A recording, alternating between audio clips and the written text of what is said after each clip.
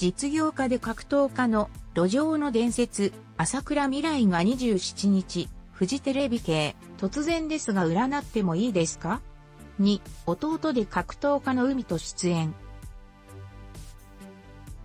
16歳で少年院に入ったと、木のことを振り返った。未来は中学生になり、突然敬語となることに意味がわからなくて。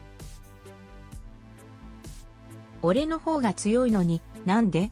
手と敬語を使わなかったため、喧嘩勃発。そこから不良っぽい感じになったという。鑑定した木下レオン氏は、16歳で大転換期と指摘すると、未来は少年院に入りましたね。無免許運転だけという、めちゃめちゃ、やまれな、とさらりとコメント。これ、自分で言うのもあれなんですけど、カリスマ性がすごくて。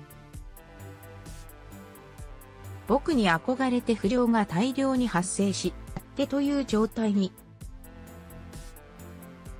そのため、僕を捕まえたら地元の治安が良くなるって、白馬、一体院全国2位がわざわざ派遣されてきたというほど。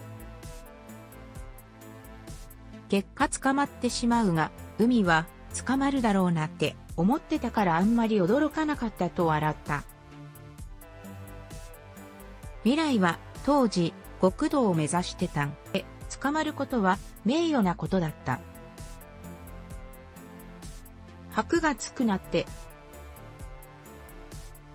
喧嘩も強かったし立ち回りもうまかったんでと考えていたというが、少年院に入ったことで極道を目指していたのが格闘家に変わりましたと指摘通り、考え方が変化。